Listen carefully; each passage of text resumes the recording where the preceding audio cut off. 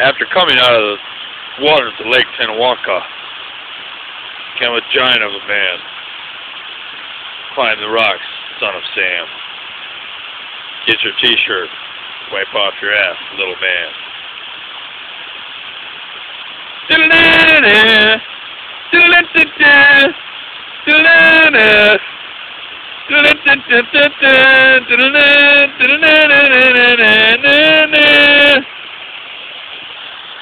He's almost waiting to stop.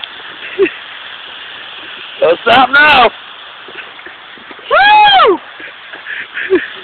How'd that make you feel? Truth. Fucking taking a bath in a goddamn waterfall.